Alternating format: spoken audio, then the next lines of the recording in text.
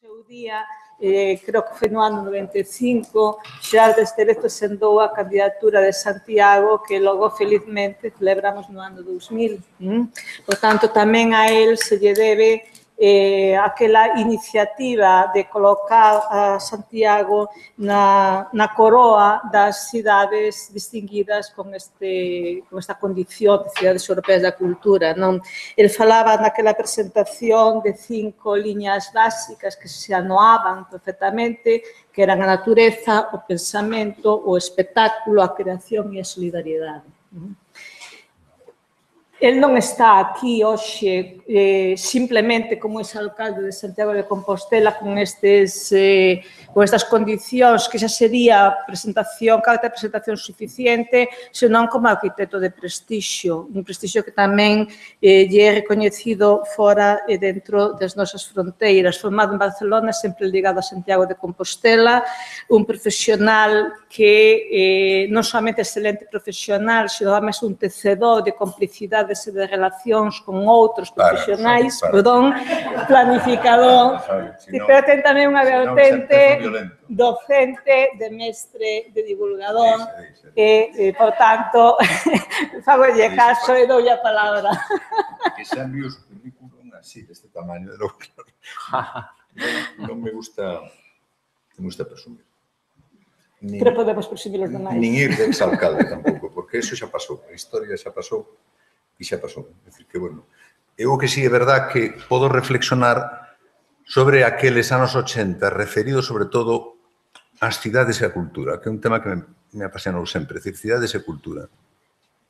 E vou partir de, de algo que, que, que o obxectivo da, da conferencia de media hora, polo tanto, media hora, avisasme, eh? se faz Aviso. favor. Saco. Cinco minutos antes. Saco a. E o que quero falar é primeiro de, de unha cousa clásica, de dunha visión clásica que eu teño da cidade, eu creo que as cidades necesitan ter un relato, un relato xa direi o que é, necesitan ter un fío conductor, que nos conten de que vai. O problema é quen o conta, quen o elabora. E o segundo, o que nos acontece agora, xa que vai ser unha charla un pouco contradictoria. Tal como eu o veía e a miña xeneración o veía, E o que está pasando agora, que evidentemente pon en entredito aquelo que, lóxicamente, nos veíamos como, como ciencia cierta. E ten que ver moito cos cidadáns. Ten que ver, ver con, con eles. Porque eu tiñemos a convicción nos anos 80 do século pasado que había que empuxar. Que había que inventar o relato que había que modificar o relato histórico, por así decirlo, aquel que, por pura lenda, repetíase de forma continuada e que había que contar, contar, que a cidadanía para avaliar o proxecto. A cidadanía, se si molestaba demasiado, bueno, molestaba. Era unha, era unha idea que, que tamén tiñamos daquela que hasta certo punto. Era o que decía moi bien Pierre Lluisaco, era unha visión voluntarista de liderazgo, de arrancar cun país que nacera unha lousa tremenda, gris, que era o franquismo. Donde a miña nenez, pois, era a sombra da igrexa, eh, juegos florales eh, de vez en cando, rezar todo o día, donos das rúas e das calles, e moi pouco donos da historia. A historia era unha lousa. Unha lousa que tiñamos en riba e que convertir as cidades, sobre todo históricas, en cidades crises, plumbias. Por lo tanto, aquela xeneración é unha xeneración que emprende a idea de transformar, de modificar, de diseñar, de relatar un conto novo, algo distinto da cidade. E repito, a cidadanía era un bo compañero para avaliar sempre cando non molestara demasiado. É un pouco drástico isto que estou dicindo agora, pero, pero, pero podo dicilo porque, porque era así, non? E ora pasa ao contrario. Ora a cidadanía empuxa e os políticos están atemorizados. A cidadanía lanza ideas non todas boas, non todas aproveitables, non todas eh, eh, con éxito, capaz de, de ser dibuixadas, pero evidentemente esa cidadanía empuxa tendo en conta que hai como tres problemas en torno a ese empuxe. Hai un exceso de palabras e de conceptos que nos inundan en relativo en relación ca cidade, sostenibilidade, reciclaxe, smart city, bueno, un montón de palabras que nos inundan, que se nos botan en riba. Hai un exceso de ocurrencias. A veces chamamos de creatividade a unha sencilla ocurrencia que pasou pola calle a tuitea e é unha ocurrencia. Nada novo, é unha ocurrencia. E hai un exceso de regulación legislativa. É unha desconfianza ao que poidan facer os cidadáns e os temos absolutamente hiperregulados. Leyes cada dous por tres. Todo isto vai en contra da creatividade e da necesidade do relato. E o que acontece agora é que a participación necesita dun factor fundamental, que o tempo. Quen está disposto a dedicarle tempo á participación? Quen? Que levante a man Decíalle a Pierluigi Sacco hai un momento que nosa experiencia de Capital Europea da Cultura quizáis a máis interesante foi cos eh, cidades nórdicas, porque teñen todo o tempo do mundo. Unha sociedade moi ben montada, moi elaborada, con niveles de participación, de consenso. Evidentemente, foi moi fácil e moi rico traballar con eles. Se baixamos, a medida que baixamos polo mapa europeo, a cuestión complicábase Por tanto, o tema da participación, a parte das palabras, dos conceptos, das ocurrencias, o problema da participación tense que vincular ao tempo. Quen lle dedica tempo para consensuar o que? E aí empezo a conferencia. Eu defendo que Santiago de Compostela tivo un relato que era unha lousa. Tratamos de modificalo nos anos 80 as corporacións democráticas, non, as corporacións democráticas, como Girona, como, como Pamplona, como todas. E agora, con toda esta información que temos, por que necesitamos dun relato? Necesitamos dun relato como Agua de maio.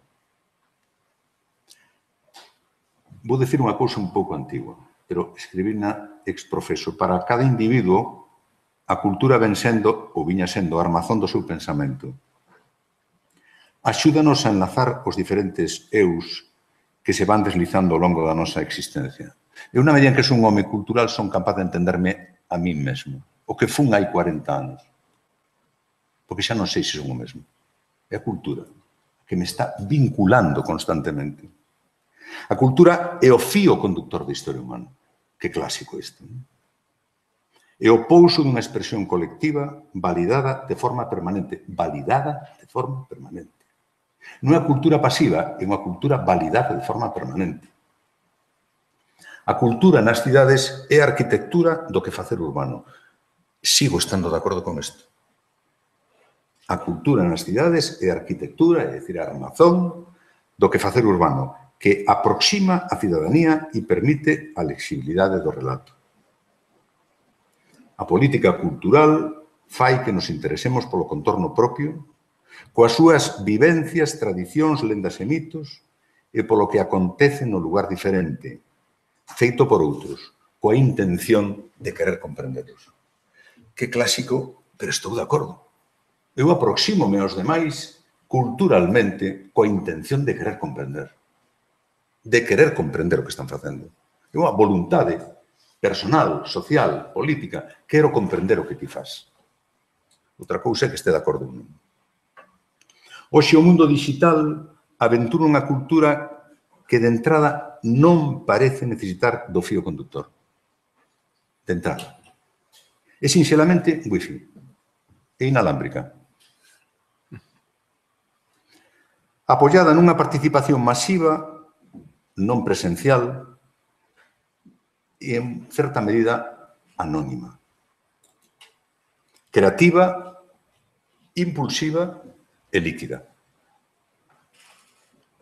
Eu, en vez daquela outra cultura, a nosa máis dirixista, institucionalizada, que promovía o papel do espectador e non necesitaba da participación.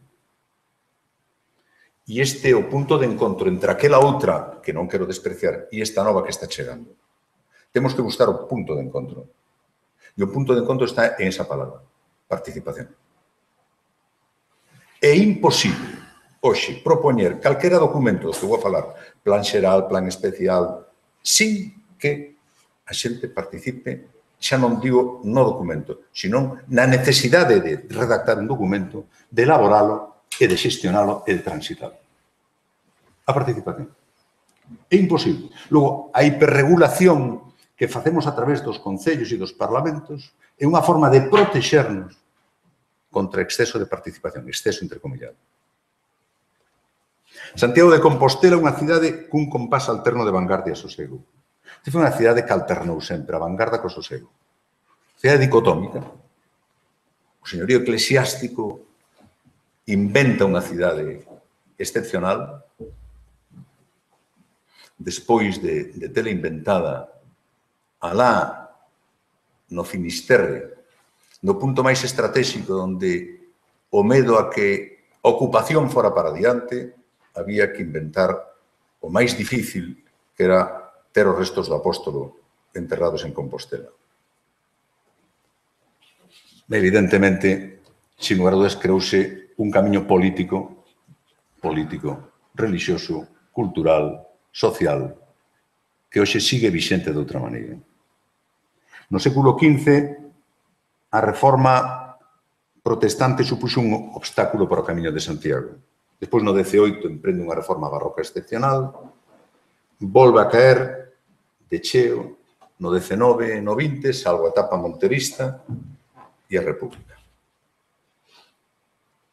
A partir da democracia, a cidade dotouse dun proxecto propio baseado en catro cousas. Nos documentos de planeamento, que ten que ver os documentos de planeamento é unha conferencia cultural, todo. Pois o correlato fundamental. Porque os documentos de planeamento ou son culturales e cultos ou é unha operación inmobiliaria. Nada máis. Ou son culturales e cultos, que logo especificarei, ou é unha operación inmobiliaria de reparto de beneficios e cargas. Por tanto, volver a reclamar a culturalidade do planeamento é antigo, pero eu reclamo a súa vixencia que no caso de Santiago, fixarvos que fácil foi. Primeiro un pouco de a memoria colectiva teño escrito, porque escribí para esta conferencia, un depósito común cheo de cultura, tradicións e lendas. Transmitímola entre os vivos. Estou falando o primeiro elemento dos documentos de planamento é o engarce daquelo que Eliot releu con frecuencia a súa terra baldía con ese poema maravilloso que dedica a Abril, más cruel de los meses, Memoria e Deseo. Volvo a falar de memoria e deseo. A cidade é memoria e deseo. É o que fomos, pero cuidado, o que queremos ser. Non vai a ser que o que fomos pese tanto que non podamos ser outra cousa. Sencillamente seamos pasado, historia. Queremos ser outra cousa. Queremos construir outra historia. E ese é o desexo a tradición tende a ritualizarse, a petrificarse, tanto que pode impedir crear outras novas. As lendas transmítense por vía oral, deformándose sucesivamente. E a historia trata máis ben dos que xa non están. A memoria de vivos é cousa de vivos. A historia é cousa de mortos. Correto permanente a historia de ir obxectivando ou demostrando os feitos acontecidos. Quizais sexa a cidade, as súas arquitecturas, os seus habitantes, o mellor expresión da consunción de historia, tradición e lenda. Pero hai que saber desentrañar as distintas capas que conforman tradición, historia e lenda. As cidades e as persoas movémonos entre a memoria e o desexo, entre o que fomos, decía, e o que xa somos, e o que queremos ser. A memoria, aquí falo de Compostela, hai na que actualizar, escanear E o desexo hai no que debuxar. E os cidadáns temos que nos implicar en ambas tarefas.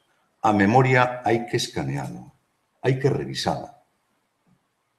O desexo temolo que dibuxar. O desexo non pode ser unha formulación conceptual. Smart City. E nos quedamos todos tan panchos. Quedamos todos tan panchos. O sea, tema ahora Smart City. O gran problema é Smart City. Pois pues moi ben. Dibuxemos usted o Smart City. A memoria hai que nos que canear, hai que revisar, o desexo hai que dibuixalo. E nós temos que ser os partícipes de ambos os dous procesos. En Compostela o exercicio consistía en conservar a memoria, conservar a memoria das súas pedras e documentos, revisándoa e quitándolle capas de bellez e actualizando no sentido máis preciso da tradición como transmítere de pasalo de presente ás xeracións que van vir non todo monumental polo feito de ser monumental, por esa petrificación que nos coloca de xeonllos ante o pasado é digno dos eloxos parecidos ao Pórtico da Gloria. Non todo é o Pórtico da Gloria. Toda a cidade non é o Pórtico da Gloria. Toda a cidade non é a Torre do Reloxo. E ese exceso de petrificación, se propoño sempre, xa que estamos aquí, ninguén é capaz de aventurar que mala, que mala pavimentación ten esta plaza tan maravillosa. Porque xusto está petrificada. Está petrificada. Non, non, que se atreva a decir algo? Nada. Nada. Está petrificada. E cando nos acercamos á plazula de Fonseca, la ridícula barandilla kitsch que ten, ninguén se atreve a decir nada. Pois ocorreu sin un xardineiro dos anos 60 que aproveitando o traslado dunha fonte das, das Vicente do Carmen, pois poñemoslle un kitsch de barandilla. Nada. É dicir, forzosamente temos que analizala. Transformar para incorporar o hálito da modernidade do século XX, introducindo coa escala xustada e o traballo minucioso novas culturas e arquitecturas. Por qué? Despois dunha transformación tan radical entre amigos, sin prensa, tan brutal como a barroca do século XVIII, por que nos estábamos, se nos negaba a posibilidade de seguir construindo comedidamente o século XX de arquitectura. Por qué? Cal era o dilema?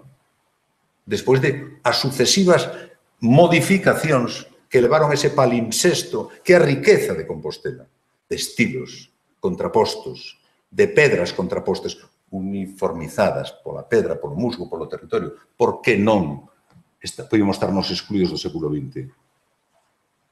Desexo de mudar o fondo e a forma e de levar esa tensión aos cidadáns, acompasando o oficio da reconstrucción da cidade histórica, oficio da reconstrucción da cidade histórica e o seu conxunto urbano co outro oficio de introducción do novo, que xa non era tanto e que quedara suspendido.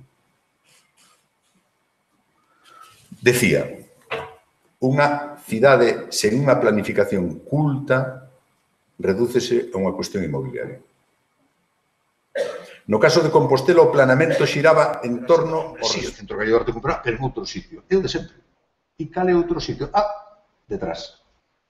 Por que non diante? Porque que se debatía? Non era tapar Bona, Bonaval, non. Era concertar, aproveitando o erro da rúa Valle Inclán, o que queríamos entender como tradición e innovación. Museo de Pobo Galego explica o que fomos e por qué o Centro Galego de Arte Contemporáneo quería explicar o que queríamos ser. E o Parque de Bonaval era a conxunción das dúas ideas a través dun cementerio. Que idea que se nos podía ocurrir a todos porque non nos cepillamos todas as tumbas que había ali. Non. Este é o exercicio da memoria. A arquitectura funeraria ten un grande valor e, polo tanto, van facer un parque que era un antigo cementerio. Por último, o auditorio. da Maximino Zumalave, que bueno, traballamos conjuntamente para facer un auditorio de música, en algo que podría ser o Campus Norte podría haber sido pois no perfil inmobiliario, e xa está. Non, campus da universidade. Non, auditorio. E a carón do auditorio, unha orquestra. E por que unha orquestra? Sabíamos que unha orquestra era a posibilidade real de levar a cabo en Galicia a transformación musical dun país.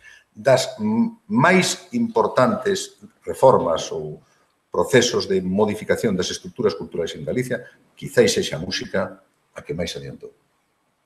Era un páramo. Eu recordo sempre estar tiritando, xo decía, escoitando alguna orquesta máis ou menos boa.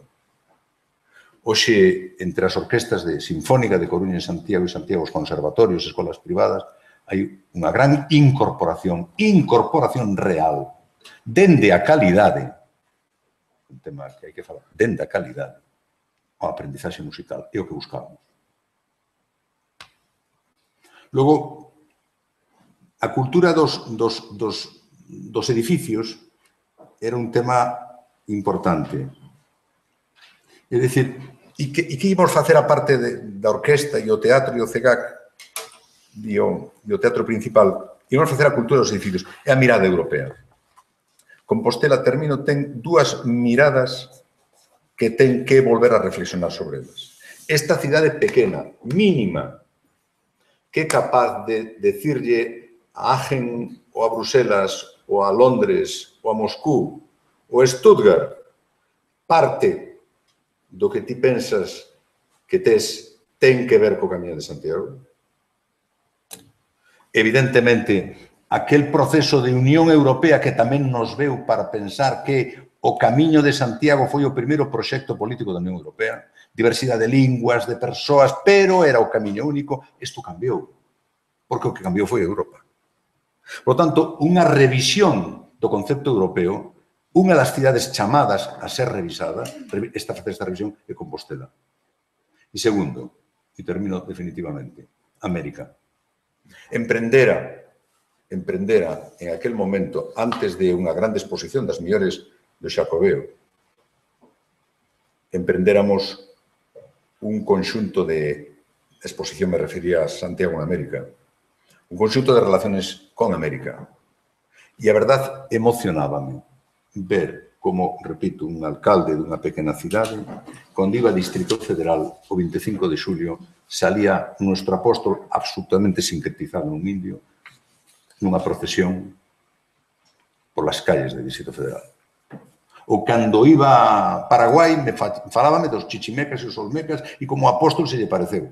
Emprendemos un conxunto de accións culturais cas cidades que teñen o título de Santiago e de aí fixemos moitos proxectos de cooperación cultural cas cidades americanas que teñen o topónimo de Santiago. Termino ca participación. A participación é a clave. A participación é en que momento os cidadáns deben de introducir as súas opinións. En última instancia, quen ten a obriga de facer o primeiro relato. Se o relato realmente é un relato que se actualiza permanentemente, temolo que actualizar acompañadamente. Pero a administración pública ten necesita tempo para dous, dúas cousas. Para establecer o relato e para ter tempo para explicalo, modificalo e transmitilo. Ese, sin lugar a dudas, eu creo que é o compromiso que hoxe está enriba da mesa e que está un pouco a espera de que alguén se lle ocurra. Terminei.